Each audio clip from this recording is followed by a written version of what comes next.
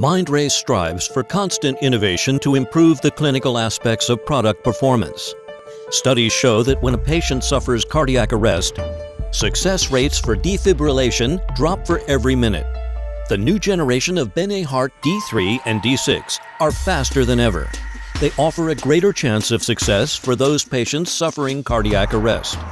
BeneHeart D3 and D6 only take 7.5 seconds to complete the whole defibrillation operation.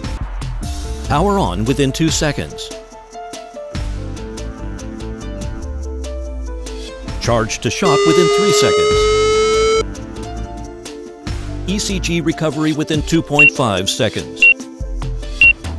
On the other hand, BeneHeart D3 and D6 have outstanding usability, which also contributes to fast defibrillation.